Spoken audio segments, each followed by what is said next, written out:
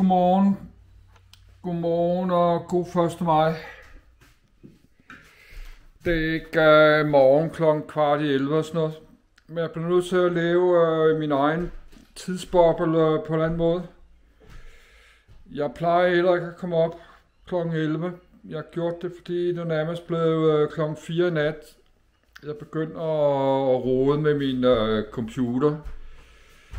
Jeg har jo øh, spillet det der spil PC, Simul PC Building Simulator, hvor man bygger computer og reparerer computer. Et spil fra 2018-19 stykker, hvor min gamercomputer er fire år gammel, så jeg skulle sidde og finde ud af, hvor, øh, hvad er det for en processor, jeg har i, hvad er det for et grafikkort og sådan noget. Så kan man få sådan nogle dias, sådan nogle diagnoseringsprogrammer, øh, der finder ud af, hvilken processor og bundkort og sådan noget. Det skal jeg jo ikke sidde og rode med klokken 3-4 om natten og sådan noget. Men det gjorde jeg så, og så derfor så blev den øh, klokken næsten 4 nat. Men det er så 1. maj nu. Jeg har ikke været øh, ude for hele weekenden. Øh, det har jeg ikke, fordi øh, jeg skal betale en masse penge i morgen. Jeg skal aflevere alle mine penge i morgen til øh, husleje og 7.000 kroner i lån.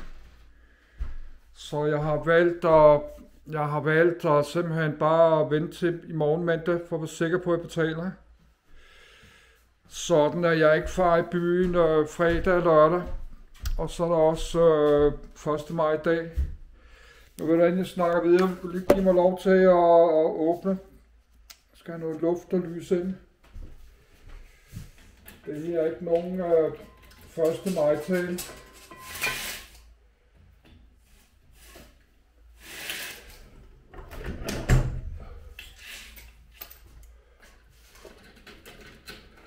Yes. Jeg er stadig socialdemokrat. Det har jeg været i, øh, i over 20 år. Jeg har været medlem af, passiv medlem af Socialdemokratiet i hver 15-20 år snart. Men jeg har meldt mig ud af Socialdemokratiet for at spare penge til, øh, til partikontingent, fordi min økonomi er så ødelagt. Jeg troede så, at det var to gange 600 kroner om året. Det var så kun 600 kroner om året, men det er altså også mange penge, når ens økonomi er ødelagt.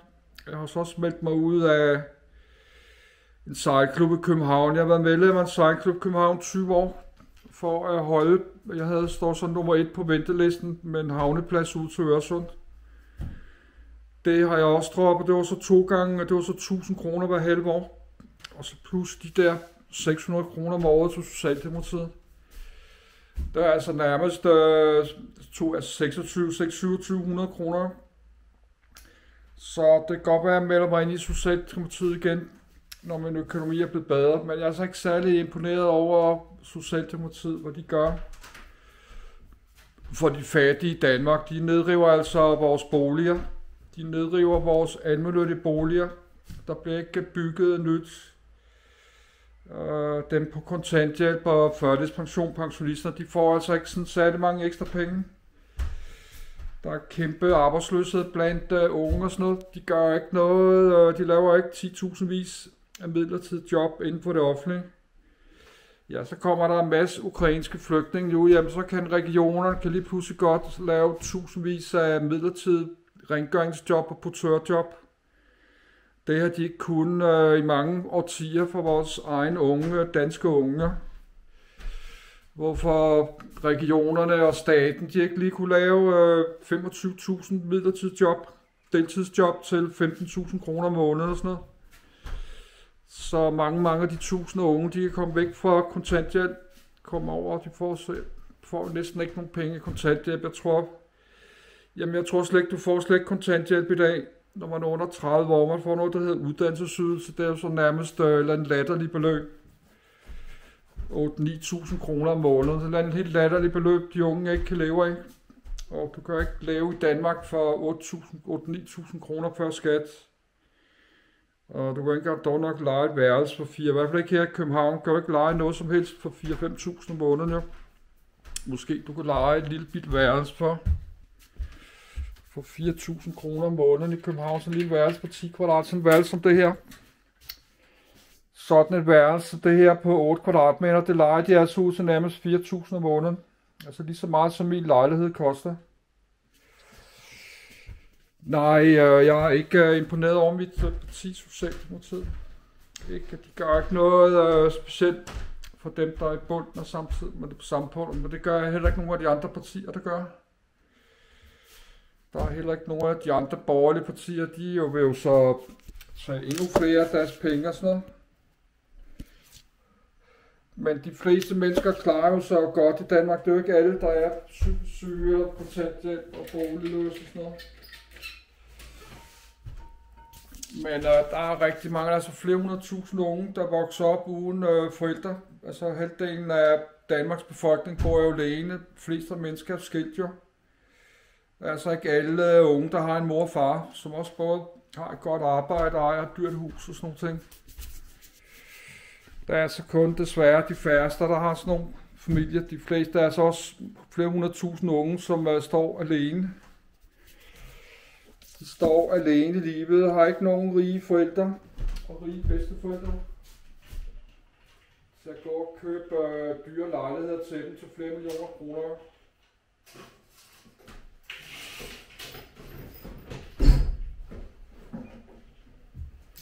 Nej, mange af de der mindre lejligheder i København, sådan nogle små øh, toværelseslejligheder, to-treværelseslejligheder, de bliver beskøbt af, af rige, øh, rige forældre fra Jylland, hvor deres datter og sådan noget skal til København og læse et eller andet på universitetet, jamen så kører de lige en lejlighed til øh, 4 millioner til dem. I sådan noget øh, forældrekøbslejligheder, de køber dem, og så leger dem ud til deres datter og et eller andet der. Der er sådan nogle forældrekøbsordninger. Det er rige, øh, rige mennesker over hele landet, hvor deres unge, øh, voksne unge, de går og forsørger dem til de er nærmest 25 år gamle, til nærmest de 30 år.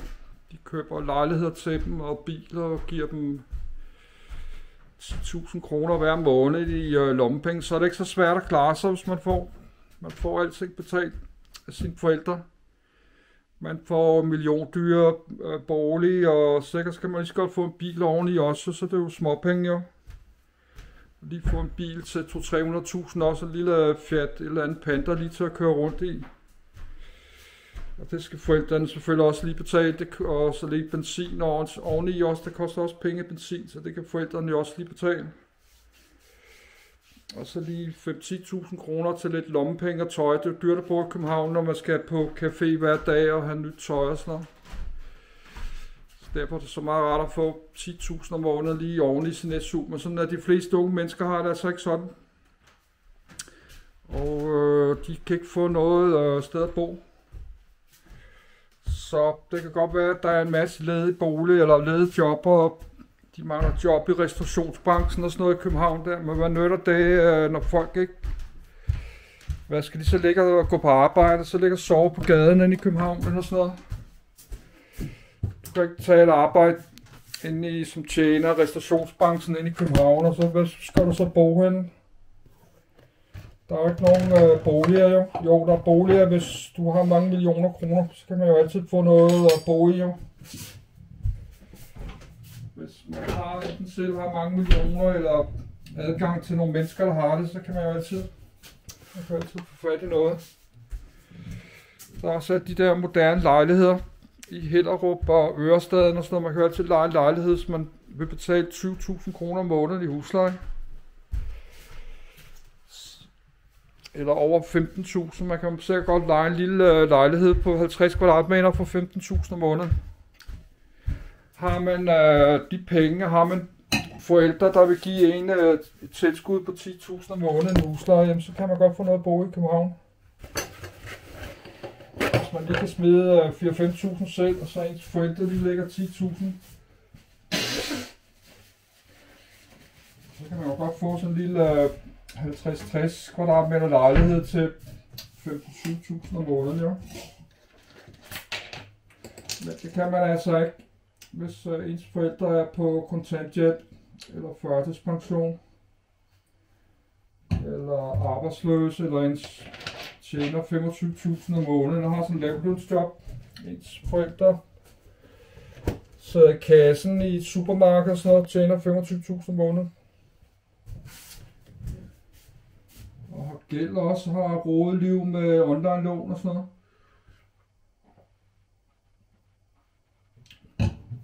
Ikke et øh, online lån, men har en lav indkomst. Lav indkomst som 25.000 om måneden, og så har kreditkort og råd med økonomien, og du kan tage sådan nogle lån, som jeg har taget, ja. Og lånt øh, 100.000 kroner og sådan noget. Yes, nu er det ikke sådan, skulle være sådan 1. maj tale. Så nej, jeg bliver nødt til at lave øh, selv min egen lille boble. Øh, nu er det 1. maj, det er rigtigt, jamen tillykke med det. Og øh, jeg skal så stadig betale mine regninger i morgen mandag. Jeg skal også betale mine regninger i juni. 1. juni skal jeg betale mine regninger igen, jo. Der skal jeg aflevere alle mine penge igen til juni. Nej, det er ikke sådan sikkert, jeg, øh, jeg kommer til at melde mig ind i Socialdemokratiet igen, fordi hvorfor skal jeg støtte et parti økonomisk, som jeg synes ikke gør særlig meget for dem nede i bunden af samfundet. Så er jeg også øh, snart 60 år selv jo. Jeg havde tænkt mig, at måske jeg, jeg skulle have gået mere aktiv ind i politik en gang og lave videoer, men jeg kunne lave nogle videoer om politik jo. Og min holdning øh, til forskellige ting, jo, det kan jeg jo gøre. Når jeg kommer ind i øh, København jo, kan jo stille mig op på trappen af Folketinget, så kan jeg bare sige min øh, mening om alt muligt. Om, på vores parti og sådan noget. Nu er jeg ikke medlem af, af, af Socialdemokratiet med jo. Men det betyder altså ikke, at jeg begynder at svine øh, mit gamle parti til. Socialdemokratiet begynder at svine vores regering til og sådan noget. Jeg er så meget glad for, at vi har en socialdemokratisk regering i forhold til den der øh, v, v, venstre regering, den der VLAK jo. Men det er jo ligegyldigt, hvis vi har en socialdemokratisk regering, og hvis de ikke gør noget øh, for dem nede på under samfundet, så er det altså bedre nærmest, vi har en øh, sådan en borgerlig og liberal regering, hvis de gør noget mere. Men det er mere det er sådan en borgerlig liberal regering med konservative og, og øh, liberale alliancer og venstre og sådan nogle ting. De kan godt finde på at massakrere forholdene for dem på kontanthjælp og førtidspension og ødelægge. Det, er jo dem, der gerne vil øh, nedrive vores almindelige boliger og sådan noget. Den der ghettoplan, den kommer jo fra den der VLAK-regering, som mit parti, Socialdemokratiet, øh, det de pludselig godt vil være med i. Så, der, så er der byggestop over hele landet nu, fordi byggepriserne på byggematerialer er gået på himmelflugt.